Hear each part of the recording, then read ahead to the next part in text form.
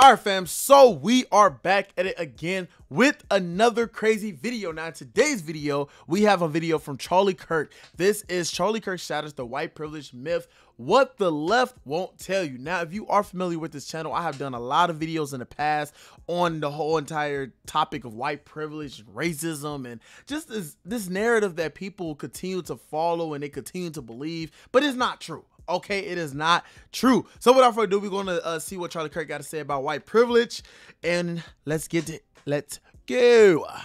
White privilege is a racist myth that is rooted in bigotry, trying to classify people based on their skin color. If you are a racist, you have something to apologize for. If you're a white person who is not a racist, you have nothing to apologize for. And anyone who makes you apologize just based on the color of their skin, of your skin, they're the racist and you're not. It's that simple. And so, this idea of our systems are racist also does not stand up against any sort of cross examination of different ethnic groups in our country. White people, on average, if you were to classify it, and again, I don't like the over racialization of our country, but if that's where the left wants to lead this, the facts don't even support their entire charge against our country is that Asian Americans and Indian Americans are far wealthier on average in our country than white Americans. This idea that every single white person in the country is living a life of luxury and convenience is totally untrue. And according to not just the Hoover Institution, but US Census data and government labor data, this is the greatest statistic to dispel it, which is that. You know, I want to pause real quick, okay? Because when it comes to white privilege, a lot of people think like even what Charlie Kirk said, a lot of people think that they're talking about simply the richness of white people. But when I talk to people that are the same race as me as, you know, black a black American, I talk to people about, you know, white privilege and what they're referring to is simply like uh if a police was to pull over, this is just an example. If a police was to pull us over and, you know, you as a black man get pulled over, there's more consequences that may come with being pulled over as a black person or a white person that get pulled over, you was to get pulled over, they believe that you getting pulled over and you know you you get on their ID and you go off with a warning. Me personally, I always tell them like, or it, for example, for a better a better analogy is when someone asked me and said, if I date a black girl and she called the police and said I put my hands on her, the police is going to just automatically think that it's two ninjas just hitting each other. That's what the police will think. Okay. And if I dated a white girl and a white girl called the police and say that I put my hands on her in the back and the, and the police officer show up and see there's a black man and a white woman, he's automatically going to arrest me. And whatever the white woman say, he's going to, he's going to, he's going to basically, you know, affirm to that. He's going to believe whatever it is that she says about me. You know what I'm saying? And I just feel like that is so wrong in so many different areas. I don't think that's 100% true all the time. Is there times where that particular thing could happen. Yes, there are times that that, that particular thing can happen, but I don't believe that is just the the majority of times where you dating a white girl, she called the police, saying you put her hands on her, and then you get arrested. Like I don't believe that's hundred percent true all the time. You know what I'm saying? Now I believe that the police, I believe the police will come in there, and I believe that some officers will be open minded to hear both sides of the stories. And if if that white girl has a lot of proof on her that shows that she put her hands on, then yes, you're going to go to jail. But I don't think it's just a, in it uh, automatically. Oh, oh man, you're a black person. Oh yeah, you're going to arrest. You're arrested. Like I don't think that's real, but that's all movie based. Like I just feel like that's that's more like fictional than anything. You know what I'm saying? Like th- this is all fake. I don't think that it's true. You feel me? But that's what a lot of people say when it comes to white privilege. Like they is not everybody thinks about the richness of white people. They think about scenarios like that that could happen that that will show white privilege. But when it comes to white privilege, I said plenty of times. I don't personally believe in white privilege. I never had no bad experience with a white person. And on top of that, even when I got pulled over by officers, you know what I'm saying? When I deserve to have a ticket, when I deserve certain things to be done to me, yet these officers that were white pulled me over and they gave me off with a warning, let me go with a warning.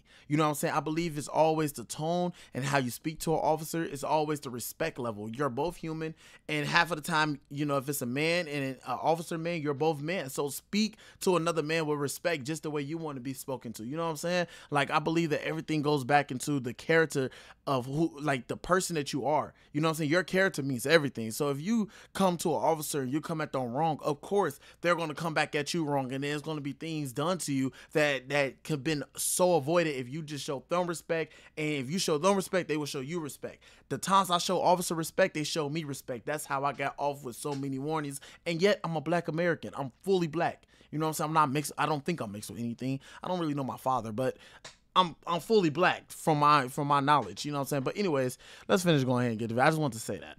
A black child raised by a mother and father is more likely to succeed by every independent metric than a white child who is raised by a single mother. Now, I'm not, a, I'm not bashing single mothers. I think that they're modern day heroes. The point is that there's two parent privilege in our country, not white privilege in our country. And if we're serious about rebuilding the black family, which we should be, we should be putting fathers back in the home, but be very careful to try to, to try to connect disparities necessarily with discrimination. And so there's other parts of privilege as well in our country that are non-racial privilege. For example, anyone here the firstborn child? I am. You know that you have an exponentially higher likelihood of succeeding than the second child or the third child or the youngest child? You ever heard of firstborn privilege? Probably not. How about only, anyone here an only child? You have way higher likelihood of succeeding.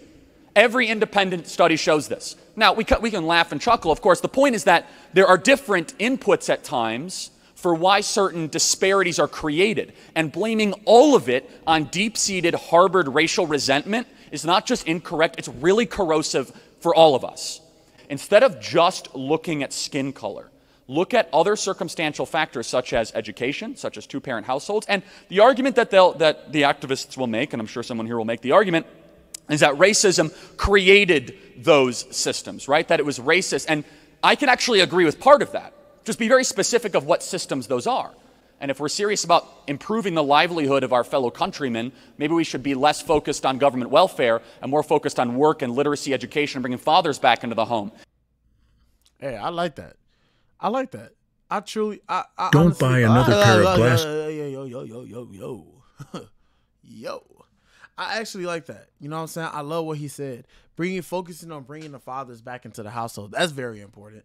You know what I'm saying? Because like I like I just said a few minutes ago, I was raised in a single mother household before my stepfather came along when I was eight years old. But even then, you know what I'm saying? It was hard for me to adjust to a stepfather because I wanted my actual biological father. You feel me? So, I mean, it's just, you know, it, that's how it was for me. I don't know about everybody else. So a lot of people can adjust to that stepfather really early in their life. But me, it took me almost, it took me until I was 18 to truly adjust to it. And by that time, I was getting ready to move out the crib. So, you know, it's just like, I don't know. That's just my story personally. But I like what Charlie Kirk said. Like, when it comes to white privilege, people need to understand that this is not like me personally, I don't look at everything a racial thing. You know what I'm saying? Like I just truly don't. When you talk about black people and a police officer, I always ask, what did that person do?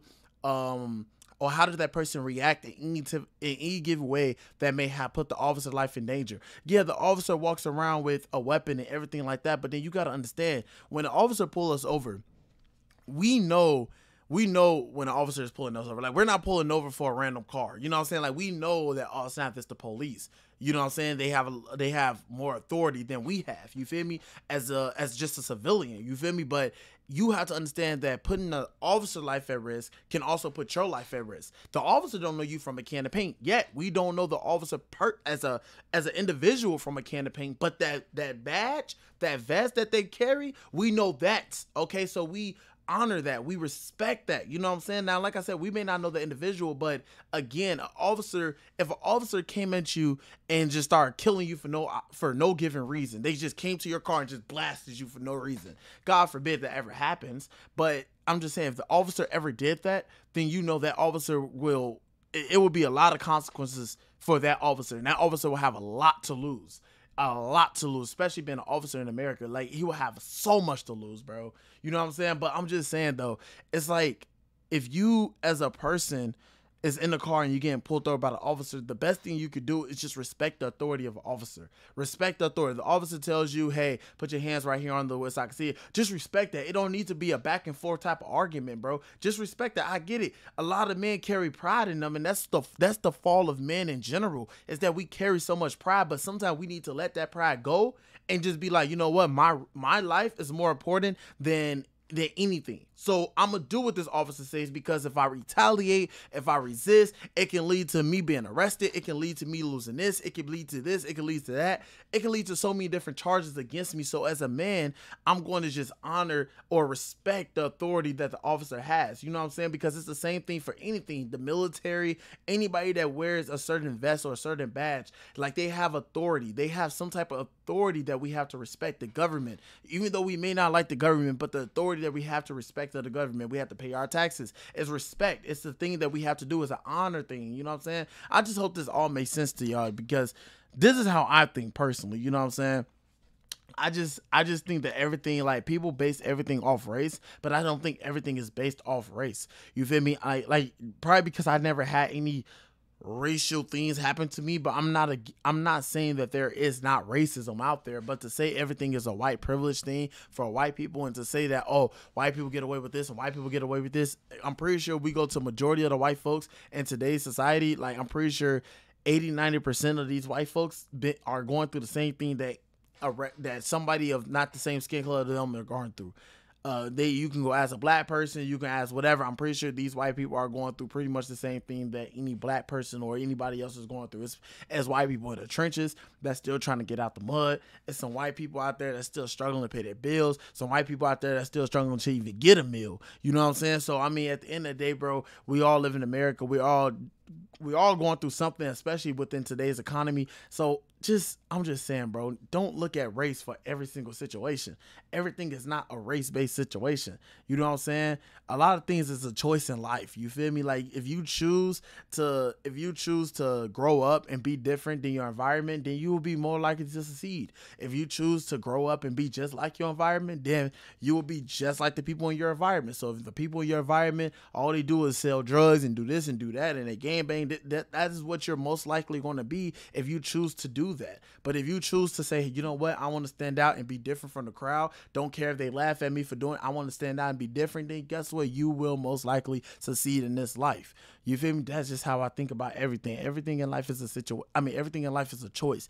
It's not like a, oh, I was raised in this, so I got to be this. No, you have a choice to either become that or you have a choice to be different from that. I chose to be different. I'm from the west side of Chicago.